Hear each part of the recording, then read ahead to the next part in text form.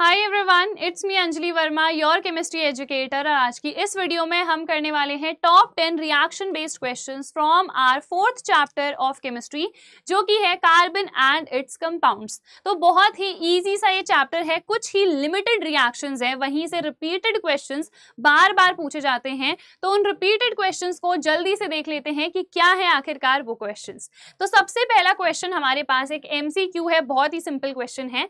The above reaction is is an example of तो यहाँ पे देखो, एक इक्वेशन यहाँ पे लिखी हुई है, जहाँ पे हमें पता है ये मिथेन है।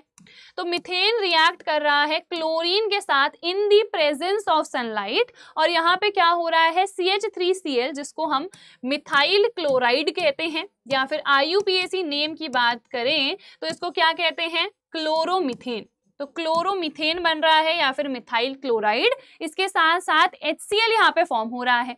तो ये इक्वेशन जो लिखी हुई है, ये किस टाइप की रिएक्शन है? डिस्प्लेसमेंट हो रहा है एडिशन हो रहा है सब्सटीट्यूशन हो रहा है, या फिर ये डबल डिस्प्लेसमेंट रिएक्शन है? तो देखो डिस्प्लेसमेंट रिएक्शन में क्या होता है? कि एक जो ज़्यादा रिएक्टिव हमारे पास मेटल होता है, या फिर कोई भी एलिमेंट है, वो लेस रिएक्टिव वाले को क्या कर देगा? डिस्प्लेस धक्का मार के बिल्कुल बाहर निकाल देगा। जैसे कि जिंक रिएक्ट करता है, या आयरन रिएक्ट करता है कॉपर सल्फेट के साथ। अब एडिशन रिएक्शन में क्या होता है? कोई भी अनसैचुरेटेड कंपाउंड होता है यहाँ पे।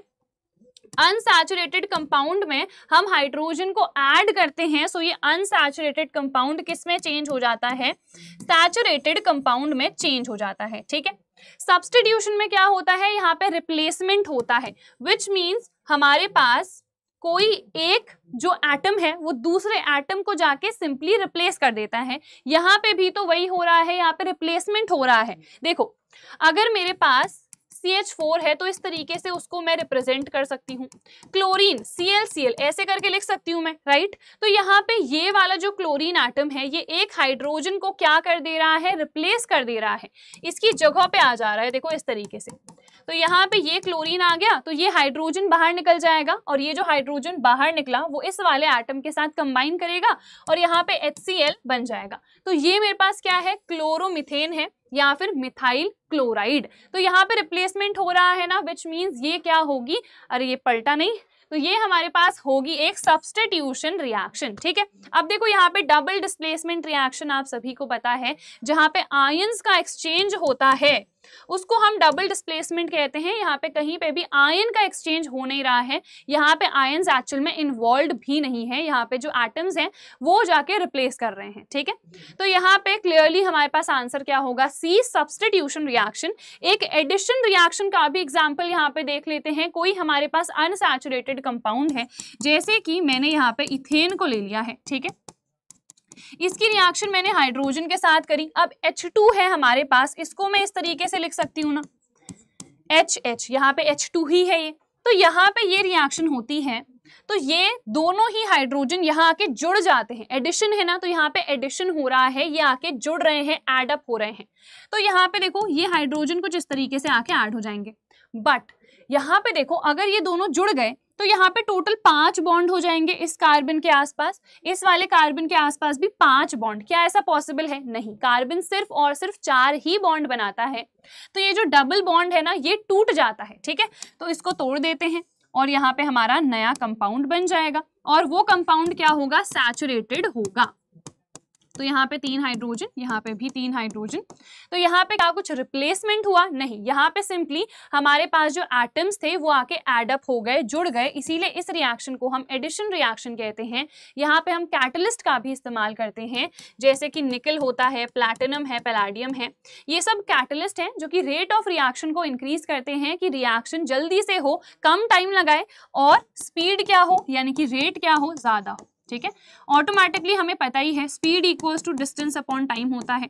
तो अगर स्पीड बढ़ेगी, यानी कि रेट ऑफ़ रिएक्शन इंक्रीज होगी सो किसी भी रिएक्शन को कंप्लीट होने में कम टाइम लगेगा, ठीक है? तो इस तरीके से कैटलिस्ट क्या है? एक ऐसा सब्सटेंस जो कि रेट ऑफ़ रिएक्शन को इंक्रीज करता है, जल्दी से उसे कंप्लीट करवा देता है।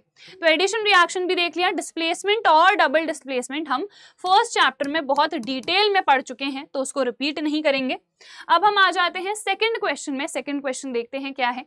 Write the name and general formula of a chain of hydrocarbons in which an addition reaction with hydrogen can take place देखो एडिशन रिएक्शन अनसैचुरेटेड में ही होती है एल्कीन में भी होगी और एल्काइन में भी होगी एल्केन्स में एडिशन रिएक्शन नहीं होती है। तो यहाँ पे नेम भी लिखना है, उस चेन ऑफ़ हाइड्रोकार्बन का और जनरल फॉर्मूला भी। तो नेम क्या होगा, हम एल्कीन ले लेते हैं यहाँ पे। एल्कीन लिख दिया। जनरल फॉर्मूला क्या होगा? C N H two N अगर आप एल्काइन लिखोगे so that is also correct उसका general formula C N H two N minus of two हो जाएगा। ठीक है? तो ये हमने नेम और जनरल फॉर्मूला दोनों लिख दिया। उसके बाद क्या है? Stating the essential conditions required for an addition reaction to occur write the chemical equation giving the name of the reactant and product of such a reaction how is an addition reaction different from a substitution reaction अभी just हमने discuss करा था तो यहाँ पे देखो हमें एक केमिकल इक्वेशन देनी है और वो हम ऑलरेडी अभी लिख भी चुके थे कि मेरे पास देखो यहाँ पे क्या है इथीन है इसको हमें पता है, हम क्या कहते हैं? इथीन कहते हैं। आई थिंक यहाँ पे मैंने इथेन बोल दिया था इसको। ये इथीन है और ये इथेन है, ठीक है? कंफ्यूज नहीं होना है। कभी कभी मुँह से वो निकल जाता है बट वो एक्चुअल में होता नहीं है तो यहाँ पे हमने इथीन लिया है। हमें जो एसेंशियल कंडीशन है, वो भी मैंशन करनी है। तो यहाँ पे देखो, हम कैटलिस्ट का इस्तेमाल करते हैं तो वो कैटलिस्ट वाली कंडीशन आप यहाँ पे लिख दोगे कि यहाँ पे निकल प्लैटिनम या प्लाडियम इन तीनों में से कोई सा भी कैटलिस्ट आप ले सकते हो, और ये किसमें चेंज हो जाएगा? ये इस तरीके से यहाँ पे क्या हो रहा है ये? आ, यहाँ पे मैंने हाइड्रोजन लिख दिया ये गलत हो गया यहाँ पे कार्बन आएगा यहाँ पे हाइड्रोजन है इस तरीके से ठीक है? तो ये हमारे पास क्या है? इथेन है। तो यहाँ पे एडिशन हुआ यहाँ पे जो हाइड्रोजन के एटम्स थे वो आके जुड़ गए। जो अनसैचुरेटेड कंपाउंड था वो किसमें चेंज हो गया? एक सैचुरेटेड कंपाउंड में चेंज हो गया ठीक है? तो यहाँ पे देखो एसेंशियल कंडीशंस क्या है? सबसे पहले हाइड्रोजन के साथ रिएक्शन हो रही होगी। सेकेंड यहाँ पे हम कैटलिस्ट का इस्तेमाल कर रहे होंगे। कैटलिस्ट निकल प्लैटिनम पलाडियम इन तीनों में से कोई सा भी हो सकता है। उसके बाद name of the reactant and product दोनों हमने लिखे। How is an addition reaction different from a substitution reaction तो एडिशन रिएक्शन में क्या हो रहे हैं? एड हो रहे हैं एटम्स जाके, ठीक है? और सब्सटीट्यूशन रिएक्शन में सब्सटीट्यूट हो रहा है। अब आप कहोगे, ये तो बस वो वर्ड्स लिख दिए तो इसको थोड़ा सा डिटेल में भी आपको एक्सप्लेन करना पड़ेगा कि एडिशन रिएक्शन में क्या हो रहा है, कोई भी रिप्लेसमेंट नहीं हो रहा है। यहाँ पे no replacement is taking place the atoms are directly getting added up to that particular compound, जैसे कि इस केस में हुआ। यहाँ पे देखो। इसमें क्या हुआ? जो हमारे पास हाइड्रोजन एटम्स थे, वो इधर पे आके डायरेक्टली एडअप हो गए। जो डबल बॉन्ड था, वो सिंगल बॉन्ड में चेंज हो गया। जबकि अगर मैं सब्सटीट्यूशन रिएक्शन की बात करूँ तो यहाँ पे रिप्लेसमेंट होता है। यहाँ पे रिप्लेसमेंट होता है, एक एटम दूसरे एटम को जाके रिप्लेस करता है। तो बस यही चीज़ आपको यहाँ पे नोट भी करनी है, लिखनी है कि एडिशन रिएक्शन में एटम्स जाके एडअप हो रहे हैं, जबकि सब्सटीट्यूशन में रिप्लेसमेंट हो रहा है एटम्स का। ठीक है? तो बस ये चीज़ आपको मैंशन करनी है। फ़र्स्ट पार्ट हम कर चुके हैं सेकेंड पार्ट है write the structure of benzene तो ये तो बहुत ही सिंपल सा है। बेंजीन का स्ट्रक्चर देखो इस तरीके से होता है। जनरली हम बेंजीन को ऐसे रिप्रेजेंट कर सकते हैं। थोड़ा डिटेल में बनाएँगे तो यहाँ पे देखो, छह कार्बन आते हैं। इस तरीके से यहाँ पे सबसे पहले सिंगल बॉन्ड हम यहाँ पे शो करते हैं। ऑल्टरनेट डबल बॉन्ड्स होते हैं। यहाँ पे अगर डबल बॉन्ड आएगा तो फिर वो यहाँ आएगा, फिर यहाँ नहीं आएगा, यहाँ पर आएगा, ठीक है? अब देखो, तीन बॉन्ड हो चुके हैं तो एक और बॉन्ड यहाँ पे आएगा और वो बॉन्ड किसके साथ होगा? हाइड्रोजन के साथ। तो इसका फॉर्मूला क्या होता है? C6H6 और इस तरीके से ये हो गया इसका स्ट्रक्चरल फॉर्मूला तो ये हमने बना दिया है। आई थिंक ये वाला जो क्वेश्चन है, आपको समझ में आ गया होगा। बहुत ही सिंपल सा क्वेश्चन था। एक्चुअल जो रिएक्शंस थी, वो पहले वाले पार्ट में थी।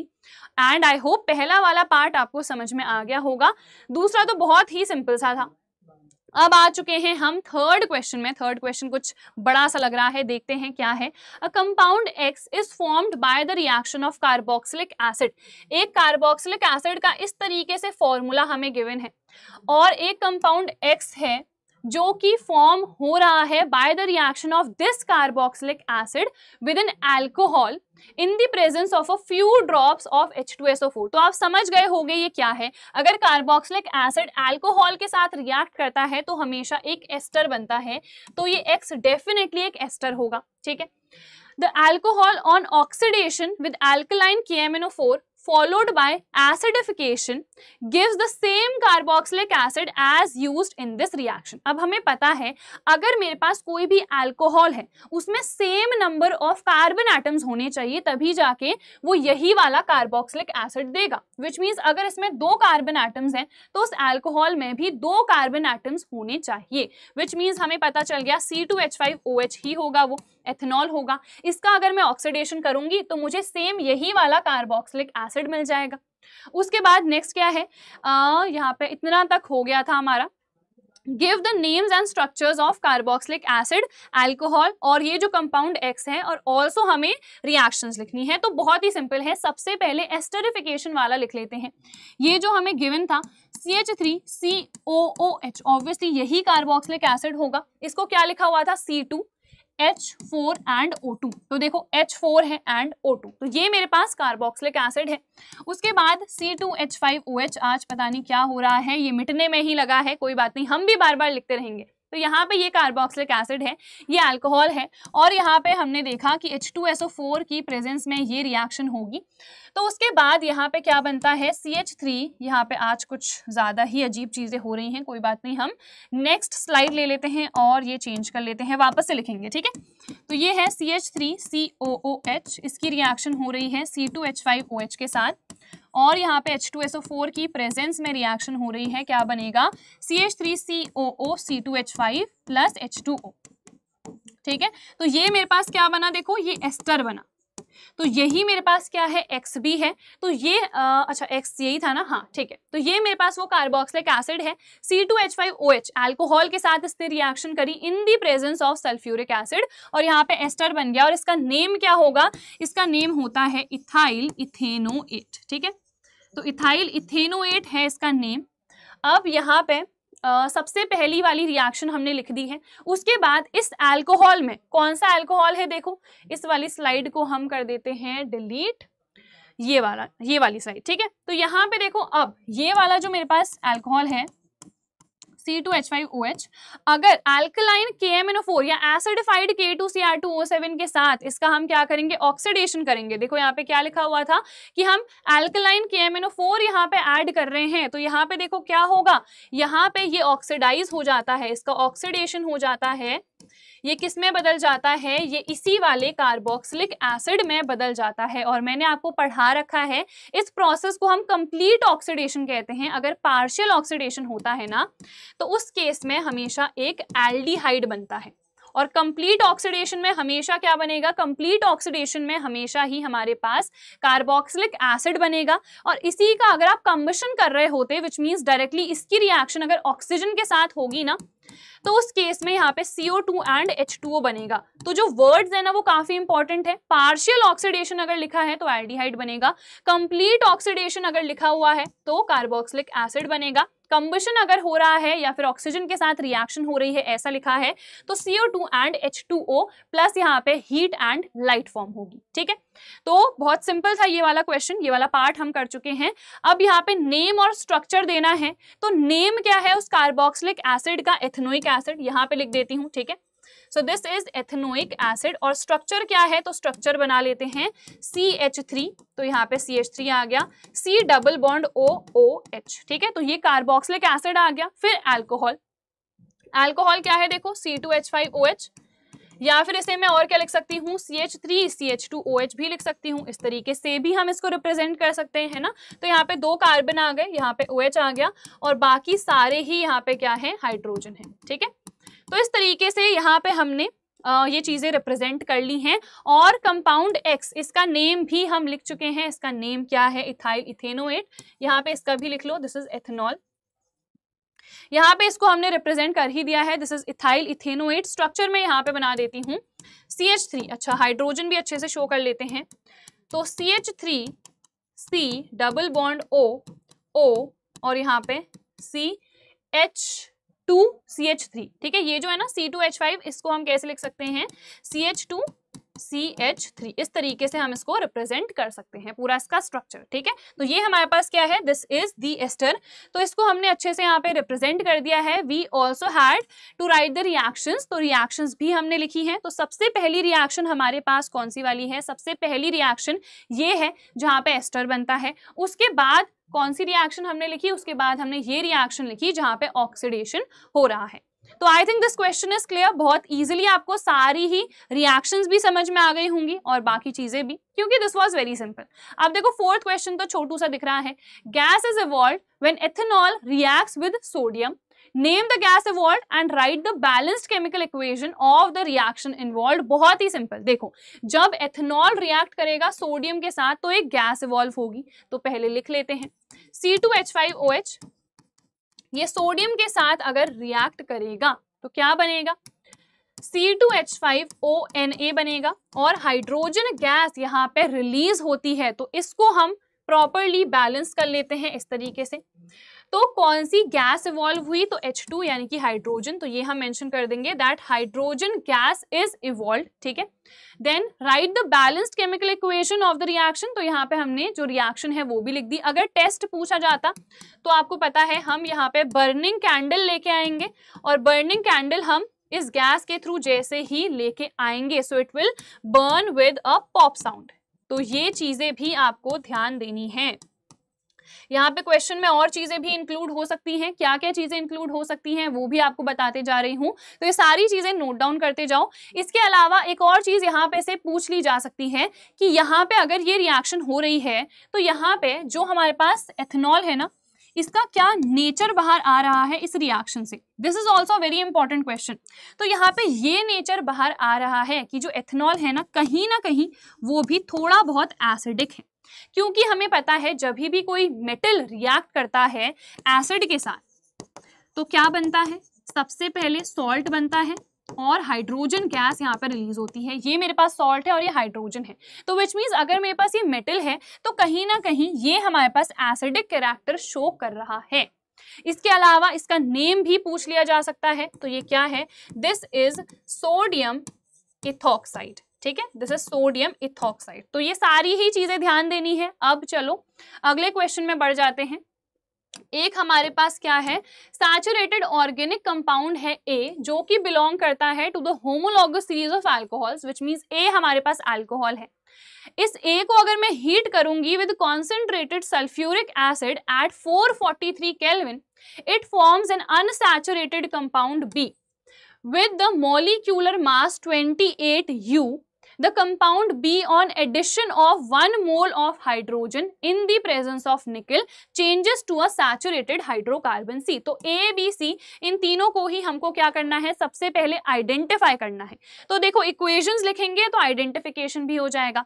एक सैचुरेटेड ऑर्गेनिक कंपाउंड है ये जो ए है ये अल्कोहल है। हमें पता है इसका अगर मैं H2SO4 के साथ डिहाइड्रेशन करती हूँ तो क्या बनता है? एल्कीन तो यहाँ पे मैं क्लियरली लिख देती हूँ। C2H5OH ये मेरे पास क्या है? एथेनॉल है। इसका मैं डिहाइड्रेशन करूँगी H2SO4 के साथ। और टेम्परेचर कितना है? 443 केल्विन तो ये C2H4 में चेंज हो जाता है। H2O यहाँ से बाहर निकल जाता है। जो सल्फ्यूरिक एसिड है, ये एक डिहाइड्रेटिंग एजेंट है। तो इस मॉलिक्यूल से पानी ये बाहर निकाल देता है। इससे यहाँ पे देख भी सकते हो आप, ये जो पानी है ये बिल्कुल बाहर निकल चुका है इससे, ठीक है? और ये मेरे पास क्या है? दिस इज़ इथीन तो अल्कोहल का डिहाइड्रेशन करोगे तो आपको एल्कीन मिलेगा और इस इक्वेशन से भी ये हमें पता चल गया, हमने लिख दी। तो यहाँ पे क्लियरली ए ये है और बी क्या होगा? ये, ठीक है? अब इन्होंने क्या लिखा? ये जो बी बना, इसका molecular mass 28 atomic mass unit है। वो भी हमें वेरीफाई करना पड़ेगा। मे बी कोई और अल्कोहल हमें लेना हो, है ना? तो यहाँ पे वेरीफाई करना पड़ेगा C2H4 तो लिख लेते हैं कितना होगा। टू इंटू कार्बन का कितना होता है? ट्वेल्व होता है है ना? तो यहाँ पे ट्वेल्व प्लस हाइड्रोजन का कितना होता है? वन। तो ये कितना हो गया? ट्वेंटी फोर प्लस फोर कितना हो गया? टोटल ट्वेंटी एट यू ही हो गया। तो विच मीन्स यहाँ पे हमने जो लिखा हुआ था, वो बिल्कुल सही लिखा था कि यहाँ पे ए हमारे पास क्या है? एथेनॉल है, इसको लिख भी दो। ए एथेनॉल है और बी मेरे पास क्या है? इथीन है। तो ये वाली रिएक्शन तो हमने लिख दी। फिर देखो, ये जो बी है, इसका एडिशन रिएक्शन करवाएँगे हाइड्रोजन के साथ। तो यहाँ पे एक सैचुरेटेड हाइड्रोकार्बन मिल जाएगा, जो कि बहुत सिंपल सा है। देखो सी टू एच फोर आपको पता है, इसमें अगर मैं हाइड्रोजन को जोड़ूँगी निकल प्लैटिनम पलाडियम इन सब की प्रेजेंस में तो एडिशन रिएक्शन होगी, ये डायरेक्टली जाके एड अप हो जाएगा। तो यहाँ पे मुझे क्या मिल जाएगा? इथेन तो विच मीन सी क्या है मेरे पास? इथेन ये इथीन से बदल के किसमें चेंज हो गया? इथेन में। ठीक है? तो यहाँ पे देखो, अब क्वेश्चन देख लेते हैं एक बार अच्छे से क्या था। आइडेंटिफाई करना था, कर लिया। ए मेरे पास क्या है? एथेनॉल है। ये किसमें बदला? ये इथीन में बदला। और सी इथेन है, ठीक है? Next write the chemical equation showing the conversion of A into B तो यहाँ पे आप ये वाली लिखोगे ए इंटू बी हमने कैसे चेंज करा था? ए को बी में. तो ये सेकंड वाले का आंसर हो जाएगा, ठीक है? ए इंटू बी ये यहाँ पे चेंज हो गया. What happens when compound C undergoes combustion अब देखो, यहाँ पे हमें आंसर करना पड़ेगा. जो सी था, वो क्या है? सी टू एच सिक्स है. अब यहाँ पे इसका अगर मैं कम्बशन करूँगी तो क्या बनेगा? कम्बशन में ऑक्सीजन के साथ रिएक्शन होती है। कोई सा भी आप हाइड्रोकार्बन ले लो, अगर उसका कम्बशन करोगे, हर केस में CO2 and H2O he form होगा। तो हमें यहाँ पे बस इसे बैलेंस करना है। वट हैपन्स तो आप लिख दोगे we see that carbon dioxide and water is formed with a large amount of evolution of heat and light तो हीट इवॉल्व होती है और लाइट एनर्जी भी हमें देखने को मिलती है। अब इसको बैलेंस कर लो। यहाँ पे दो कार्बन है दो हो गए। हाइड्रोजन छः हैं। इधर पे मुझे थ्री लिखना पड़ेगा। आ, तो ये सही से बैलेंस होगा नहीं एक्चुअली क्योंकि यहाँ पे फोर प्लस थ्री सेवन हो गया और यहाँ पे है नहीं। तो इसको हमें और कुछ देखना पड़ेगा। यहाँ पे ऑक्सीजन हमें कराने हैं बैलेंस है ना? तो यहाँ पे अगर मैं फोर लिख दूँ तो क्या ये बैलेंस हो पाएगा? वो हमें देखना पड़ेगा। यहाँ पे कितने हो जाएँगे? देखो, ये एट हो जाएँगे और यहाँ पे ये सिक्स ही है तो ये बैलेंस्ड नहीं होगा। इन दोनों का हमें सेम सेम नंबर लाना पड़ेगा। यहाँ पे मैं टू लिख देती हूँ। तो यहाँ पे बारह हो जाएँगे। यहाँ पे मैं बारह ला सकती हूँ ना? यहाँ पे हम क्या करेंगे? फोर सॉरी फोर जो लिख रही हूँ मैं, यहाँ पे गलत हो गया ये। यहाँ पे अगर बारह लाने हैं तो सिक्स ठीक है? तो सिक्स एच टू ओ हो गया। अब देखते हैं कार्बन भी चार हो चुके हैं विच मीन्स यहाँ से भी मुझे मिटाना पड़ेगा ये। यहाँ पे मुझे फोर लिखना पड़ेगा। अब हमें ऑक्सीजन यहाँ पे देखने पड़ेंगे, क्योंकि हाइड्रोजन देखो बारह है, यहाँ पे भी बारह है, बिल्कुल सही कार्बन यहाँ पे चार है कार्बन यहाँ पे भी चार है ऑक्सीजन देखने पड़ेंगे।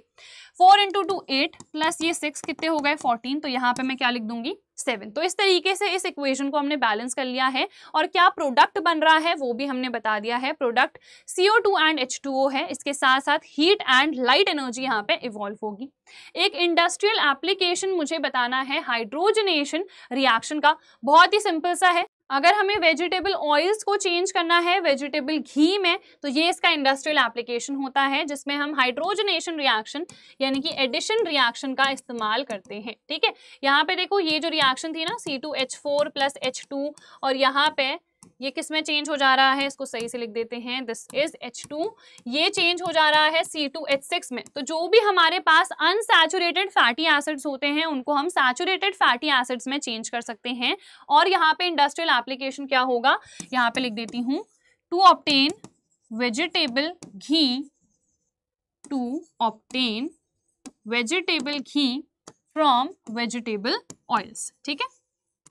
अब यहाँ पे ये जो वेजिटेबल ऑयल्स हैं, ये क्या होते हैं हमारे पास? अनसैचुरेटेड होते हैं और जो वेजिटेबल घी है, वो क्या होता है? वो सैचुरेटेड होता है। तो ये चीज़ आपको यहाँ पे मेंशन करनी है। इंडस्ट्रियल एप्लीकेशन कभी भी पूछा जा सकता है तो आपको ये चीज़ मेंशन करनी है। स्क्रीनशॉट ले सकते हो या नोट डाउन कर लो जल्दी से कॉपी में। फिर name the products formed when compound A reacts with sodium compound A क्या था हमारे पास? सबसे पहला वाला C two H five O H अगर ये सोडियम के साथ रिएक्ट करेगा तो अभी हमने देखा था सोडियम इथॉक्साइड बनेगा। इसके साथ साथ हाइड्रोजन गैस यहाँ पे इवॉल्व होगी। तो बैलेंस हमने इसको कर लिया, इस तरीके से यहाँ पे रिप्रेजेंट कर लिया है।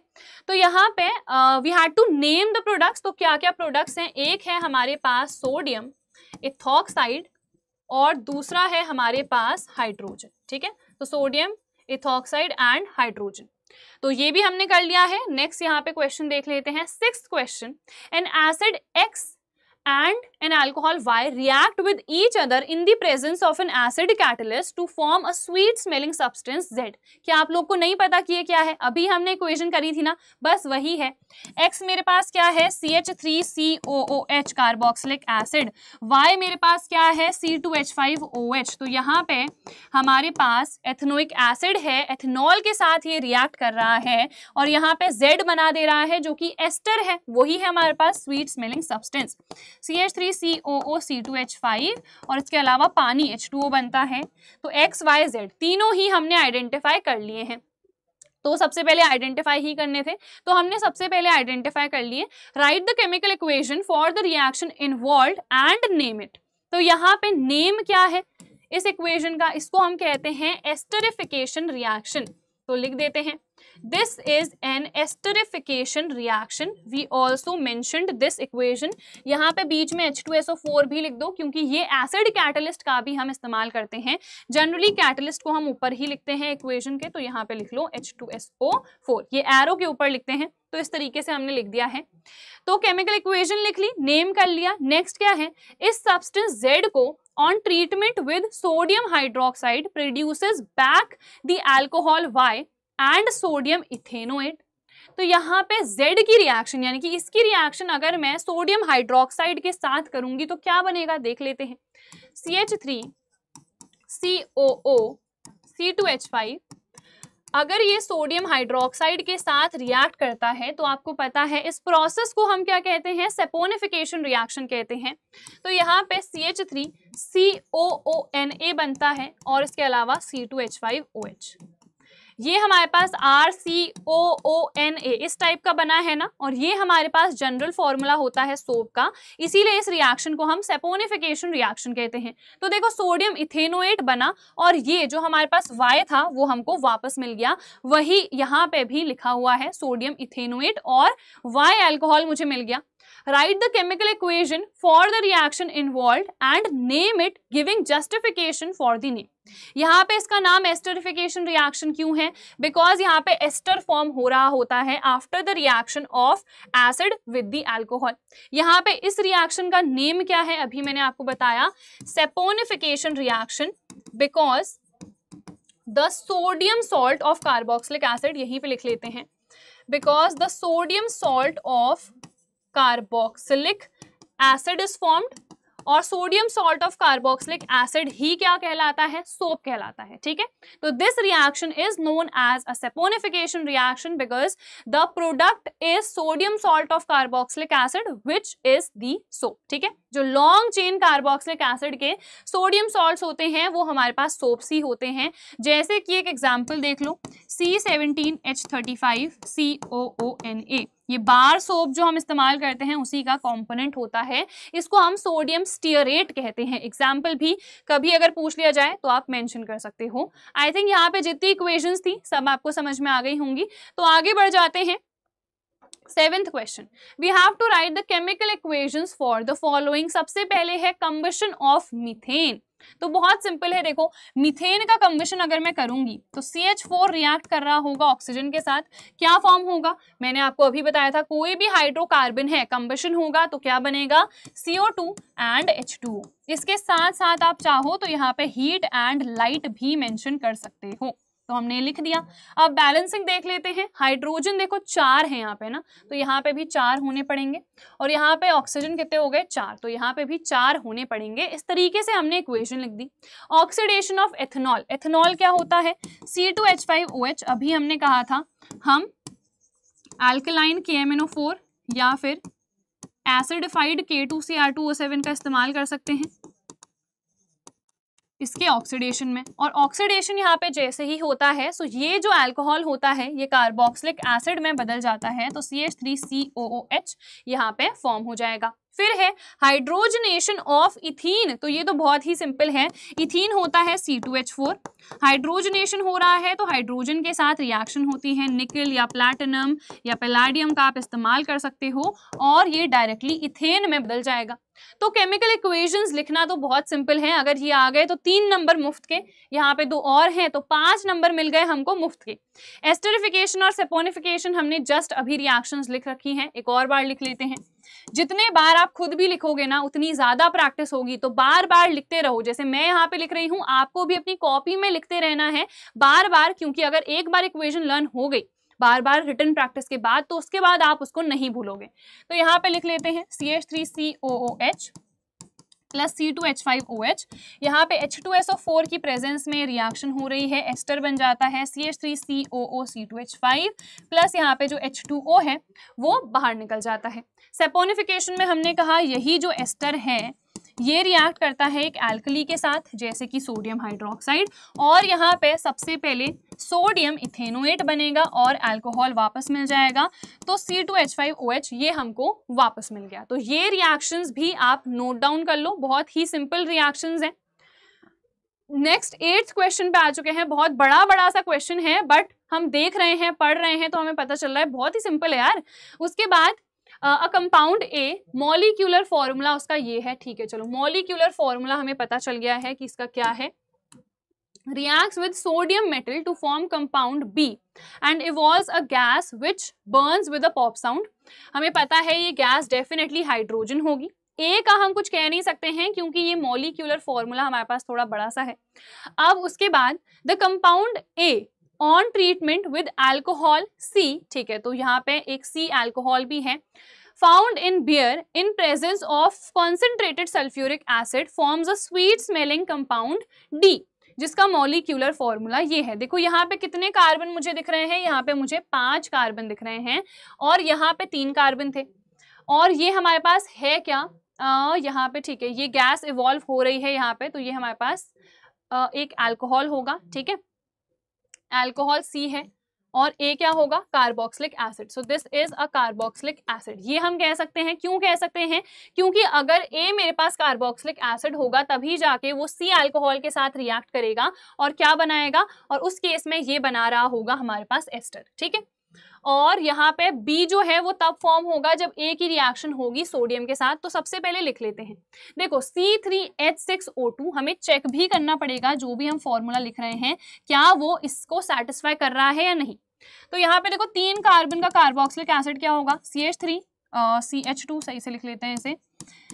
सी ओ ओ एच ऑब्वियसली यही होगा, है ना? तो मैं कह रही हूँ ये ए है। अब इसको चेक भी करते हैं। देखो, तीन कार्बन है, तीन कार्बन है। हाइड्रोजन कितने हैं? Three four five six six हैं, बिल्कुल सही। ऑक्सीजन दो है? येस ऑक्सीजन दो है। तो which means A compound definitely ये होगा। और इसका नेम क्या है? यहाँ पे बिकॉज़ तीन कार्बन है। सो so ये प्रोपेनोइक एसिड होगा। तो ए मेरे पास क्या है? Propanoic acid. हमने कहा ये जैसे ही रिएक्ट करेगा सोडियम के साथ तो हाइड्रोजन गैस इवॉल्व होगी और एक कंपाउंड बी बनेगा, जो कि क्या होगा? C H three C H two C O O N A और यहाँ पे H2 गैस क्या हो जाएगी? इवॉल्व हो जाएगी। तो इसको अगेन हमें बैलेंस करना पड़ेगा। यहाँ पे टू आ जाएगा, इधर पे भी टू और इधर पे भी टू तो ये बी है। अब इसका नेम क्या होगा? बिकॉज़ ये प्रोपेनोइक एसिड था तो ये क्या हो जाएगा हमारे पास? उसी का सोडियम सॉल्ट है तो सोडियम प्रोपेनोएट ठीक है? जैसे कि C H three C O O N A क्या था? सोडियम इथेनोएट ये क्या हो जाएगा? सोडियम प्रोपेनोएट ठीक है? तो आई थिंक क्लियर है ना? स्पेलिंग सही लिखी है? प्रोपेनोएट ठीक है। तो हमने ए और बी को आइडेंटिफाई कर लिया है। ए का जब ट्रीटमेंट होगा सी के साथ तो ये बनेगा। तो हमें पता है कि ए तो डेफिनेटली ये है और सी हमें पता है इसमें दो कार्बन होंगे। कैसे? वो भी हम अभी देखते हैं। ये मेरे पास ए है। इसकी रिएक्शन जब सी के साथ हो रही है, जो कि क्या है? एक अल्कोहल है। तो एक ऐसा एस्टर बनेगा जिसमें पाँच कार्बन है। यहाँ पे ऑलरेडी तीन कार्बन है तो यहाँ पे जो भी अल्कोहल में इस्तेमाल करूँगी, उसमें कितने कार्बन होने चाहिए? सिर्फ़ दो। तो यहाँ पे C two H five O H के साथ विच मीन्स रिएक्शन होगी। यहाँ पे देख लेते हैं क्या बनेगा। देखो C H three C H two C O O C two H five और एच टू ओ यहाँ पे बाहर निकल जाएगा, ठीक है? तो ये मेरे पास एस्टर बन रहा है। इथाइल इथेनोएट पहले वाले का नेम था, इसका नेम क्या होगा? इथाइल प्रोपेनोएट, ठीक है? अगर नेम पूछा जाए तो नेम भी यहाँ पे मैं लिख देती हूँ। दिस इज़ इथाइल प्रोपेनोएट जो मेन चेन होती है, वो हमेशा ही हम आखिरी में लिखते हैं, ये बहुत बार मैं आपको बता भी चुकी हूँ। तो इसका नेम है इथाइल प्रोपेनोएट तो यहाँ पे देखो, ये हमने लिखा ए का ट्रीटमेंट हुआ सी के साथ in the presence of H तो यहाँ पे स्वीट स्मेलिंग सब्सटेंस बन गया, जो कि एस्टर है। कार्बन पाँच है हाइड्रोजन टेन है। देख लो थ्री फोर फाइव एक second C five H ten यहाँ पे कुछ तो गड़बड़ हुई है बिकॉज़ कार्बन यहाँ पे one two three four five है हाइड्रोजन थ्री फोर फाइव हाँ ठीक है टेन है, बिल्कुल सही सही है, और ऑक्सीजन कितने हैं? दो है, ठीक है तो ये जो फॉर्मूला बना है, उसी के अकॉर्डिंग बना है ना, बिल्कुल यहाँ पे कंडेंस्ड फॉर्म जो है, वो उसके साथ मैच करता है विच मीन्स जो भी इक्वेशन हमने लिखी है, वो बिल्कुल सही लिखी है। उसके बाद on addition of N A O H to A it also gives B and water अब जब मैं एन ए ओ एच को ऐड करूँगी ए में ए क्या था मेरे पास? ये था। तो ऐड कर देते हैं। C H three C H two C O O H N A O H जैसे ही मैं ऐड करूँगी तो मुझे पता है C H three C H two C O O N A बनेगा और पानी एच टू ओ। तो यहाँ पे देखो, ये बन रहा है, ये क्या है? बी है। तो अगेन बिल्कुल सही लिखा था कि ये जो ए है, ये बी और पानी में बदल जाएगा अगर इसकी रिएक्शन किसके साथ? होगी सोडियम हाइड्रोक्साइड के साथ। तो ये भी हमने बिल्कुल सही लिख दिया। D on treatment with N अब ये डी कहाँ से आ गया? डी है ये तो मेंशन भी कर देते हैं साथ के साथ कि ये मेरे पास डी है। अब डी का अगर ट्रीटमेंट होगा एन के साथ तो ये हमें बी और सी वापस दे देगा। अभी हमने देखी थी ये रिएक्शन भी कि अगर मेरे पास ये डी है C H three C H two O O C two H five कोई भी एस्टर है, अगर सोडियम हाइड्रोक्साइड के साथ रिएक्ट करता है सेपोनिफिकेशन रिएक्शन होती है तो वही रिएक्शन यहाँ पे भी लिख देते हैं। C H three C H two C O O N A plus C two H five O H तो ये देखो मुझे बी और ये क्या था मेरे पास? I think this was C तो ये बी और सी मुझे वापस मिल गए, है ना? तो ये भी हमारे पास बिल्कुल सही चीज़ है। आइडेंटिफाई करना है ए बी सी और डी को तो बिल्कुल हमने ऑलरेडी आइडेंटिफाई कर दिया है। ए ये है बी ये है सी ये है और डी ये है। उसके बाद chemical equations for the reactions भी हमें यहाँ पे लिखनी है, जो कि हम तो बहुत ही चालाक है, पहले ही लिख चुके हैं। यहाँ पे ये है प्रोपेनोइक एसिड ये है सोडियम प्रोपेनोएट उसके बाद यहाँ पे सी हमारे पास क्या है? सी है मेरे पास एथेनॉल ठीक है? और ये मेरे पास है इथाइल प्रोपेनोएट तो ये सब की सब इक्वेशंस भी हम लिख चुके हैं। उसके आगे भी जो भी इक्वेशंस आई थी, वो भी लिख दी है और नेम भी कर दिया है। तो आई थिंक आपको सारी ही इक्वेशन समझ में आ गई होंगी। इस इक्वेशन को हम क्या कहेंगे? सेपोनिफिकेशन रिएक्शन इसको क्या कहेंगे? एस्टरिफिकेशन रिएक्शन इन रिएक्शंस का एज सच कोई भी नेम स्पेसिफिक नहीं है। ठीक है? अब चलो नाइन्थ क्वेश्चन में आ जाओ, देख लेते हैं क्या गिवन है। एक कंपाउंड है X that undergoes addition reaction with H2 to to form a compound Y having molecular mass 30 gram per mole वैसे तो जो इक्वेशन एनसीईआरटी में है तो मोस्ट प्रोबेबली वही आती है। बट देखो, यहाँ पे चेंजेस हुए थे ना। इसीलिए ये जो भी चीज़ आपको गिवन रहती है ना, इसके साथ हमें उसको मैच कराना ज़रूरी है। तो यहाँ पे वैसे तो सबसे पहले मैं, जो हमारे पास इन जनरल है सी टू एच फोर उसी को लूँगी। तो C two H four H two के साथ रिएक्ट करेगा निकल प्लैटिनम के साथ तो सी टू एच सिक्स बनेगा। तो यहाँ पे मुझे ये देखना पड़ेगा, क्या इसका मोलिक्यूलर मास इतना आ रहा है या नहीं? तो चेक करते हैं। टू इंटू ट्वेल्व होगा प्लस यहाँ पे सिक्स है ना तो सिक्स इंटू वन तो ट्वेंटी फोर प्लस सिक्स आ गया which is equal to thirty only तो ये बिल्कुल सही है विच मीन्स यही वाली इक्वेशन मुझे यहाँ पे मेंशन करनी होगी। तो जो एक्स कंपाउंड है वो ये है, जो कि क्या है? इथीन और वाई कंपाउंड ये है, जो कि क्या है? इथेन ठीक है तो यहाँ पे X undergoes addition reaction with hydrogen and it is forming a compound Y. जो एक्स है it decolourise bromine water and burn with smoky flame smoky flame because ये क्या है? अनसैचुरेटेड है तो हमें पता है अनसैचुरेटेड में हमेशा ही सूटी फ्लेम देखने को मिलती है। उस सूट का मतलब ही है स्मोक तो यहाँ पे येस डेफिनेटली स्मोकी फ्लेम देखने को मिलती है। We have to identify X and Y and write chemical equation of the reaction involve तो यहाँ पे x और y को हमने आइडेंटिफाई कर दिया है and we also have to write the reaction तो रिएक्शन भी हमने यहाँ पे मेंशन कर दी है। ये जो डी कलराइजेस ब्रोमीन वाटर है, यहाँ पे ये आपके सिलेबस में है नहीं, बस सिंपली यही होता है कि हमारे पास जो इथीन होता है, वो ब्रोमीन वाटर के साथ रिएक्ट करता है और ये कार्बन टेट्राक्लोराइड की प्रेजेंस में होता है सो इसका जो कलर होता है ना, वो डिसअपियर हो जाता है, क्योंकि यहाँ पे एडिशन रिएक्शन होती है ब्रोमीन आके यहाँ पे जुड़ जाते हैं इस तरीके से, ठीक है? ये आपके सिलेबस में है नहीं, ये आईसीएसई वाले बच्चों के सिलेबस में है, आपके सिलेबस में है नहीं तो जो सिलेबस आपके सिलेबस में है, बस वही लिखनी है तो आपको यहीं तक लिख के आना है। और बाकी स्मोकी फ्लेम की अगर हम बात करें तो ये आपको पता है कि हमेशा कोई भी अनसेचुरेटेड कंपाउंड है तो वो आपको येलो सूटी फ्लेम देता है। अगर क्लीन ब्लू फ्लेम मिल रही है विच मीन्स वो एक सैचुरेटेड कंपाउंड होगा, ठीक है? तो बस यहाँ तक हो गया है। अब हम आखिरी सवाल पे आ जाते हैं। बहुत सिंपल सा है tenth question how would you bring the following conversion तो ये कुछ कन्वर्जन वाले क्वेश्चन है। एथेनॉल को अगर मुझे चेंज करना है इथीन में तो मुझे पता है यहाँ पे डिहाइड्रेशन करना पड़ेगा। वेरी सिंपल देखो ethanol C two H five O H है। यहाँ पे डिहाइड्रेशन करेंगे। H two S O four की प्रेजेंस में। तो सी टू एच फोर यहाँ पे फॉर्म हो जाता है और पानी यहाँ पे से बाहर निकल जाता है, ठीक है? तो यहाँ पे ये जो मेरे पास एथेनॉल था, ये किसमें बदल गया? इथीन में। तो प्रोसेस का नेम क्या है? दैट इज़ डिहाइड्रेशन उसके बाद प्रोपेनॉल को मुझे प्रोपेनोइक एसिड में बदलना है तो ये भी बहुत ही सिंपल है। प्रोपेनॉल देखो C H three C H two O H यहाँ पे इसका क्या करा देंगे? ऑक्सीडेशन एल्कलाइन के या फिर acidified K two C R two O seven के साथ तो यहाँ पे क्या फॉर्म हो जाएगा? यहाँ पे C H three C H two C O O H ये बनेगा। और इसको हम क्या कहते हैं? ये है हमारे पास प्रोपेनोइक एसिड तो प्रोपेनोल किसमें चेंज हो गया? प्रोपेनोइक एसिड में। तो इतने ही हमारे पास थे क्वेश्चन टॉप टेन जो कि रिएक्शन बेस्ड हैं। ये सब के सब प्रीवियस ईयर्स में आए हुए हैं क्लियरली यहाँ पे ईयर मेंशनड है। तो ये सारे ही क्वेश्चंस बहुत ज़्यादा इंपॉर्टेंट है तो इनको बहुत अच्छे से आप सभी प्रैक्टिस करना। सो so, आज की वीडियो के लिए इतना ही काफ़ी है। बाकी चैप्टर्स भी ऑलरेडी अपलोडेड हैं सो so आप बाकी चैप्टर्स को भी डेफिनेटली चेक करना। एंड हम मिलेंगे हमारी नेक्स्ट वीडियो में। Till then bye everyone take care and all the very best